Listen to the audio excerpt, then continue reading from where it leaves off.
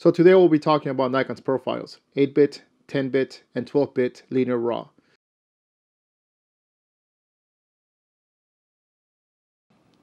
There's a creek at this park and that's the reason why we came here today to analyze the dynamic range in the highlights through the trees and to see how much detail we can preserve in the shadows.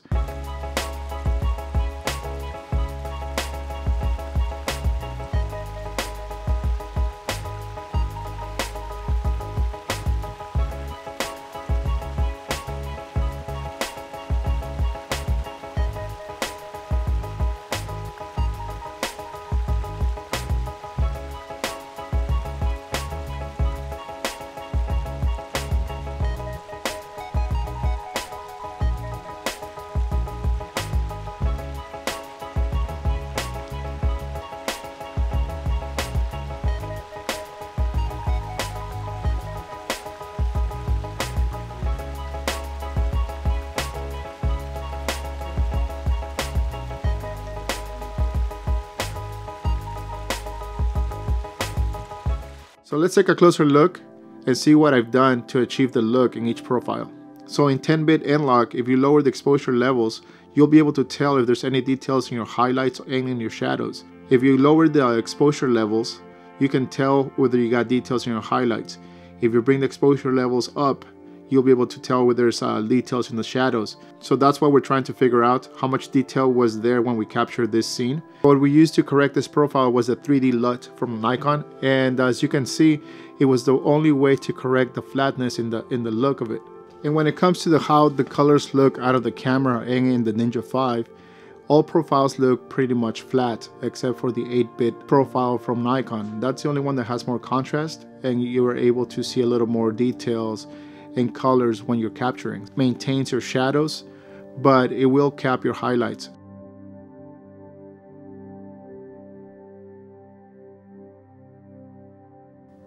Now we're looking at 12-bit RAW.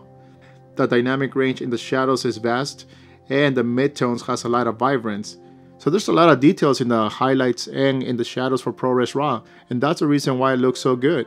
There's a lot of vibrant colors, and the shadows have a lot of contrast. So in this scene, the 12-bit RAW, moving the exposure levels, you can tell how much details there is in the highlights and in the shadows. And that's the reason why linear RAW is so much more complicated to work with. You can expose properly and add masks as required, and you will get back all the information that you need. This is something that Nikon prides itself on, the color science. So if you're looking for a cinematic look, this perhaps would be the way to go. Much like the other scenes that I've shown you, now we're looking at this profiles flat as capture in its own device.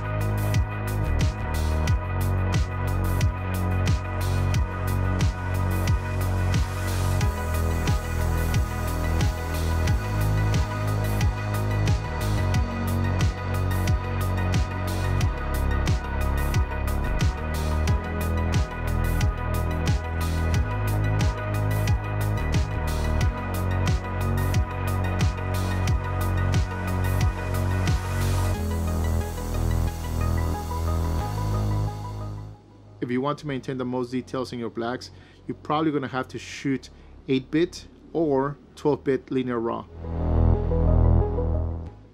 So I believe this is a willow tree.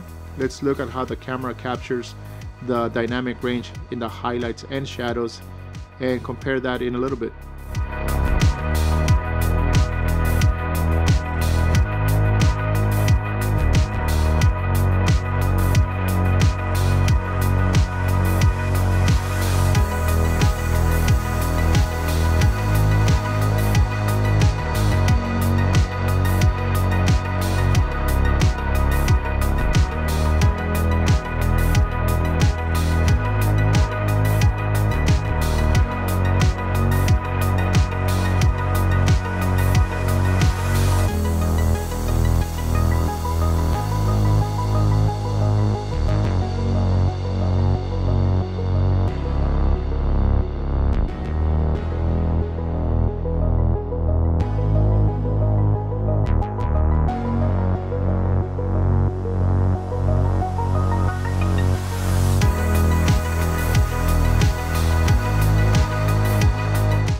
12-bit 4K RAWs here, and the benefits were worth the wait. It gives you manageable file sizes, high dynamic range, and ease of use when editing.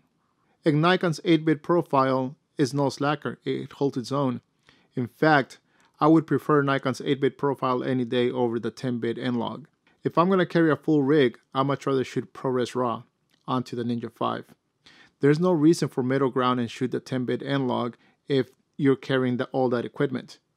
So before I forget, now that we have ProRes RAW integrated into the Nikon system, do you think it can hold its own against Canon?